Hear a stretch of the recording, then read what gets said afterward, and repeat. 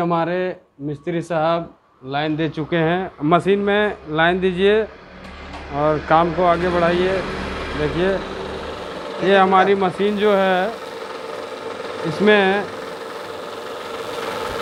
फीता डालने से ये फीता नहीं ले रहा है।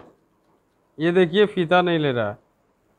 इसमें प्रॉब्लम क्या आती है, वो अभी आप देख सकते हैं। ये फीता नहीं ले रहा है। जबकि मशीन हमने चालू कर दिया है। ये देखिए।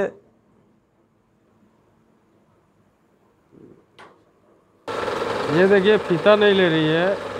इसमें हमारे मशीन में ये फीता नहीं लेने का फ़र्स्ट रीज़न है ये हमारे एल एस वन का स्विच काम नहीं कर रहा।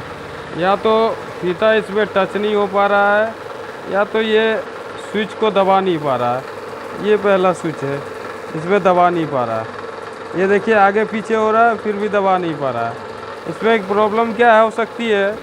ये जो स्विच है, थोड़ा सा आगे, इधर बढ़ा के हम टाइट कर सकते हैं और ये फीता लेने लगेगा। अब अब ये हमारे मिस्त्री स्विच को अंदर दबा के टाइट कर रहे हैं। ये देखिए।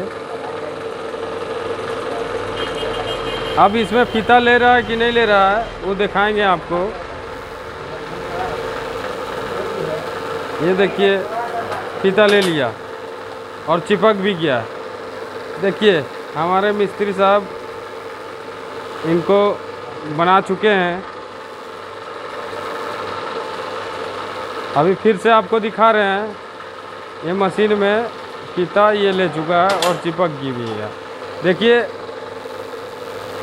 आराम से चिपक भी गया है और ये मशीन बन चुकी है।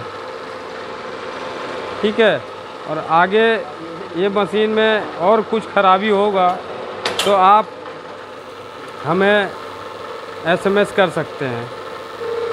हमारे यूट्यूब पे आप एसएमएस भी कर सकते हैं और कोई भी प्रॉब्लम हो तो हमारे इंजीनियर साहब ये हैं राजेश शर्मा।